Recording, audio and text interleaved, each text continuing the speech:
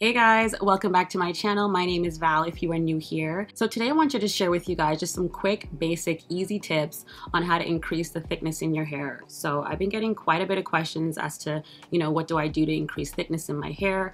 How do I make my hair thicker? So I figured, you know what, let me just share a few of the tips that have helped me throughout my hair journey to increase the thickness, fullness, body, all of that in my hair. So if you're interested, keep on watching. Oh,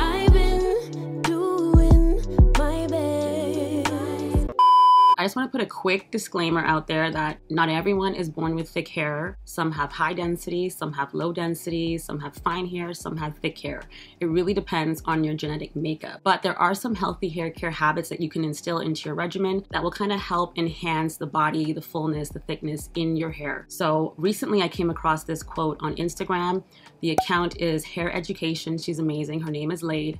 And she said something that really like just struck a chord with me. It just resonated completely because I get it. So she said something along the lines of our hair journey is all about experiencing our hair at its full genetic potential. That's huge. So it's all about maximizing our full genetic potential in our hair. So whether you have fine hair, thick hair, maximize your potential. And everyone can increase the body, can increase the fullness in their hair once it's at its healthiest state, right? So with that being said, you can definitely maximize the full potential of your hair by just instilling a few healthy hair care habits to increase the fullness and the body in your hair. All right, so tip number one, I would definitely say low manipulation. So just leaving my hair alone has been a huge help in terms of just increasing that thickness in my hair. For me, I don't need to pick up the comb on a daily basis and just comb my hair. I use my fingers, you guys, and I've said this multiple times in my videos. My fingers have literally become combs. I can detangle, I can remove knots from my hair with just my fingers. So it really helps to lessen unnecessary breakage because we all know breakage leads to thinning and we don't want thin hair, right? Try to find styles that are easy that you can just use your fingers for. And I know it's like, okay, how do I put down my comb? How do I not style my hair? Like for me, I like to do braid outs and this style, honestly, no comb was needed just finger detangle with my hands. I braid my hair, moisturize it obviously, and it's good to go. I just unravel it in the morning and there's no heavy manipulation on my hair. Like my strands are not stressed, they're not being tugged or pulled. So it's all about trying to find and understand your hair, find out what works for you. You guys know my fingers are my combs. I barely really pick up a comb at this point, but it did take some time, some practice, some getting used to. There is a slight learning curve where that's concerned. So for me, just putting down the comb and reserving it more so for wash day, doing a full detangle at that point, doing buns like protective styles as well, huge help. And obviously you wanna move your bun as well. You don't want your bun to be in the same position all the time because that too can cause breakage and thinning and we don't want that. Keeping things very minimal in the grand scheme of things have been a huge help. Like less is more in that sense. Tip number two is stretching my relaxers. So I stretch anywhere between 10 to 12 weeks. That is the perfect time frame. That is my threshold. That is my comfort zone.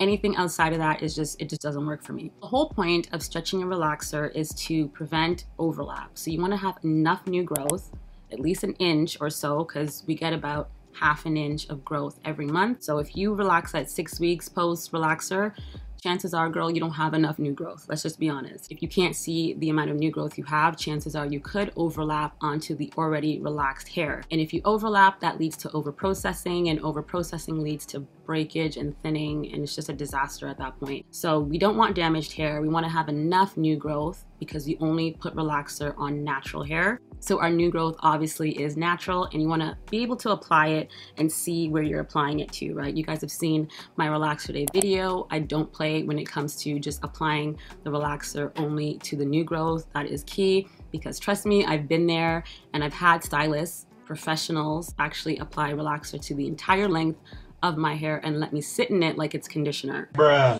We're not trying to go backwards, we're trying to move forwards. It's 2022. No one should be putting relaxer on their ends unless they're doing a virgin relaxer or they're trying to do a corrective. And I'm not saying to stretch past your comfort zone. It's always important to know your threshold and to just stick to that. Also, I only use normal strength relaxers. I find that using normal strength is perfect. I know that there's mild, there's normal, and then there's um, extra strength. The extra strength is a little too strong for my hair. I love normal because it's kind of slow in the processing time and it doesn't leave my hair super bone straight. Like I have some texture remaining. For me, I'd rather have a little bit of texture versus bone straight hair. That's just my preference. All right, so tip number three, I would say is protecting my previously relaxed ends. And if you guys watched my Relaxer Day video, you definitely know I don't play when it comes to protecting my ends. Relaxer runoff is real and it can still process your hair slightly if you don't protect your hair. I always use a conditioner and grease prior to relaxing my hair. That way, if the relaxer does run off or if it drops on my strands, it's not actually penetrating through. There is a barrier over my hair. So that's really important because relaxer runoff can still process your hair. And if your previous relaxed hair is processed, it could lead to over processing and breakage and thinning. We don't want it. And this tip is really, really important for my girls who go to the salon and if they have stylists who overlap and they're just messy with the whole relaxer application. Put oil, put conditioner, put grease, put something on your hair. That way you have that peace of mind. And say, for example, relaxer does happen to drop on your ends during that process. You never know you are covered, you're good to go. All right, so the next thing that I'm gonna mention is a little bit controversial in the hair care community because some people love it and some really, really hate it. So for me, coconut oil has been amazing in the pre-poo form and even in my deep conditioners, but more so as a pre-poo paired with my protein has just been amazing in terms of strengthening my hair and making it fuller and thicker and stronger. Coconut oil is said to be the only oil that can penetrate the strands up to 90%. So it can get into the cortex, so the inner part of your hair strand. No other oil is like that in terms of just how far into the cuticle it can penetrate and it also prevents protein loss and we all want to preserve the protein that is in our hair right and i know some people have complained about coconut oil making their hair feel rough dry brittle I get it. Trust me, I do. I get those symptoms or those reactions in my hair when I use it as a leave in. So if I use it um, post wash day or as a sealant, my hair just can't take it. So I prefer to use it in the pre-poo phase or in the deep conditioning phase. That way my hair gets the benefits, but it's not staying in my strands throughout the day or throughout the week. So using it prior to shampooing is when you're really gonna see the benefits of coconut oil. It can really just fortify the hair, strengthen it, and really increase the fullness and thickness of your hair. So the next controversial tip I would say is light protein treatments. Not a lot of people like protein, but it is extremely beneficial and necessary in a relaxed hair journey, in a relaxed hair regimen, only because the protein in our strands have been compromised. And if the protein has been compromised, you need to kind of replenish the protein that has been lost in the hair. And using protein really depends on your hair. For some, they use it bi-weekly, some use it monthly, some use it every relaxer. It really depends on that individual and their hair. So I used to do protein on a weekly basis and it really helped to just increase the health of my hair but now I find that my hair doesn't really need that much protein and I've decreased it to like bi-weekly or monthly depending on how my hair feels. But I find that a lot of people are scared of protein and um, they just don't want anything to do with it. But at the same time, our hair is made up of protein, right? And if you're not replenishing that protein or you're not eating enough protein in your diet as well, that can really, you know, play a role in how healthy your hair is or not. Protein tends to make the hair rigid, it makes it hard, it can make it dry as well. Never use protein by itself. So the next step you wanna do is follow up with a moisturizing deep conditioner to help soften, make the hair more manageable. Also, protein helps to fill the gaps along the cuticle. So if there's holes or any missing cuticle parts, protein will help bind everything together, making your hair strands feel fuller, thicker, and have more body. So don't be scared of protein. It is your friend. Use it wisely, but keep it in your regimen and know how to use it for your hair type. I also want to say that if you are, you know, sensitive to protein, I get it. A lot of people have that sensitivity. Instead of using a straight protein-based conditioner like Aphogee 2-Minute Reconstructor or a Firm Reconstructor or Hair Mayo um, from ORS, try using a moisture protein balanced conditioner as your protein treatment. So instead of using something that is just straight protein, try using something that has a little bit of both moisture and protein in it. That way it's not too harsh or strenuous on your strands, if that helps. All right, so next tip is just keeping up with my trims. I find that just having my hemline, so the way my hair hangs, I call it a hemline. So just having that nice and neat and full has really contributed to the thickness of my hair.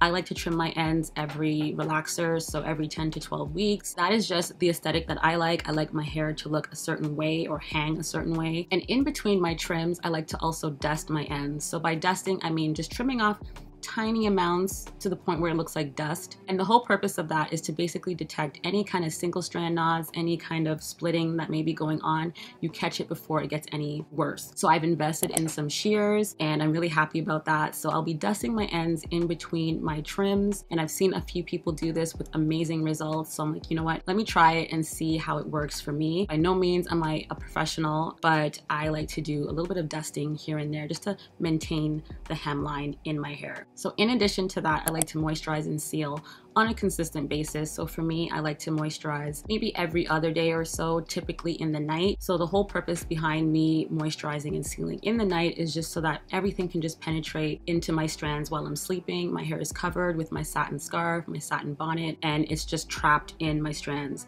as opposed to moisturizing and sealing in the morning. You go out for the day, that will evaporate like that. So it's really important for me to just do it at night and then in the morning I style it and go. So keeping my hair moisturized and obviously obviously keeping my ends trimmed has definitely contributed to fuller, thicker hair. All right, so the next tip I would say is less direct heat. I haven't used heat, you guys, I wanna say since September. I haven't flat ironed my hair since September 2021. I've been going on this little no heat challenge, my own little challenge that I created, and it's been great. I've been loving the air drying method, blow drying on cool air. Going heat free has definitely helped in terms of just adding that fullness to my hair and that overall fluffy, thicker look. So obviously you wanna use heat responsibly, and that's, you know, making sure that you put any kind of direct heat on clean hair, conditioned hair, hair that is protected with a heat protectant. That is key. You also want to be careful with the temperature that you're using. I don't go over 350 on my flat iron. Anything more than that is just a no. So for me, less direct heat has been amazing. You know, if you want to air dry or roller set, that is great because roller setting is a form of indirect heat as well. But using any direct heat tools, flat iron, blow dryer, um, curl wand, curling iron,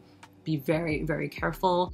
You want to just kind of put those away for a bit, enjoy your hair in its air dried state if you can, or in a roller set or even like a flexi rod set. But find something that will prevent you from picking up those hot tools. Just kind of be creative with it and see what works for your hair. All right, so next up for me, I would say is deep conditioning. Deep conditioning has played a huge role in just keeping my 4C coarse dry hair moisturized. You guys, my hair is dry, like just naturally very, very dry. And deep conditioning without fail has been a lifesaver, a game changer for me. It has increased the elasticity in my strands as well. And overall, deep conditioning is just gonna promote the health of your hair. I like to deep condition on a weekly basis without fail. And I like to use heat when I deep condition. So I like to use either my hooded dryer, my steamer, or my heat cap. And I typically leave it on anywhere from about 20 to 40 minutes or so. And then I'll rinse. So using heat has been beneficial because it opens up the cuticle. It allows the conditioner to penetrate deeper. And overall, my hair just feels way more more moisturized, it feels manageable, it feels soft, the elasticity is back in my hair. So using a heat source is vital for my hair. So lately I've been getting a lot of questions about, you know, what if I don't have a steamer or a hooded dryer? What can I do? And for me, I really think that making that investment is really important. Having a hooded dryer, it's gonna last you a few years or several years. My hooded dryer just conked out and it's been going strong for over 10 years. I wanna say it was about under 50 bucks, well worth the money and my hair benefited from it. So I'll always encourage you guys to make that initial investment. But if you really don't have the means, you're a student, you're young, I get it. Try to layer your hair with plastic caps. So use at least two to three. They have like that self-heating cap. I think it's like a gold foil with like silver underneath try to use that. You can get that at any beauty supply store. You'll also want to cover those plastic caps with like a bonnet or a toque or a towel or a t-shirt of some sort. Just try to insulate as much heat as possible. And you want to leave it on a little bit longer. So I would say anywhere from 45 minutes to about an hour or so. But honestly, making that initial investment is really important. If you can, but if you cannot, try to layer your hair with some kind of plastic caps, a hat, a bonnet, whatever you can find, just to kind of insulate that heat. I would say the next tip would be castor oil, you guys. I love and swear by castor oil, and that's either Jamaican black castor oil or just regular like that clear castor oil. It's been amazing in my hair journey, in my hair. I like to call it liquid gold because it's just that good. Castor oil really helps to promote thickness. Obviously, it helps to promote growth. And every time I use castor oil, I don't know if it's just me, but my hair looks more plump, it looks fuller. It just overall makes my hair just look bigger. I don't know what it is. I love using it in my deep conditioner, so I'll add like maybe like a teaspoon or a tablespoon or so in my favorite deep conditioner, use some heat, and I'm good to go. And last but not least, you guys, your health. Your health plays a huge role in how your hair looks, how your skin looks, and how you overall feel. Any kind of vitamin deficiency or mineral deficiency will definitely play out in your hair. So it's really important to check with your doctor, see what's going on. If you have a lot of shedding, if you have a lot of thinning or any scalp issues, check with your doctor, get some tests done see where your iron levels are at. I find iron plays a huge role in the quality of our hair, in the thickness and fullness of our hair as well. So make sure you're not iron deficient because that can lead to excessive shedding. Check your ferritin levels, check your hemoglobin as well, because those can be at two different numbers. It's really important to have enough blood supply to get to your vital organs and also to your hair because on the totem pole of your health, your hair is dead last. Your hair is not gonna get what it needs to get. Your vital organs are gonna get that first. So you wanna have that nice overflow so that your hair can get all the nutrients, all that blood circulation, all that blood supply to carry the nutrients to your follicles. And from there, you'll have healthier hair. So look into your iron because if you're a black female, our iron tends to be lower for some reason based on statistics. If you're of childbearing age as well, based off of what your doctor recommends, take an iron supplement, take your multivitamins, you know, take your vitamin C, take those things that you know will contribute to healthier hair growth, drink your water, have your veggies, have your fruit, and overall just try to have less stress because stress contributes to shedding and shedding contributes to thinner hairs. So you just want to have a nice healthy balance. So yeah guys, that is basically it. I hope you enjoyed these tips. They've definitely helped me and helped to contribute to the overall health and thickness and fullness of my hair. By no means am I saying to try everything that I mentioned. You know your hair best, so do what works for you. Comment down below, let me know what has contributed to the overall thickness and health of your hair. Subscribe if you haven't, and I'll see you guys in the next video.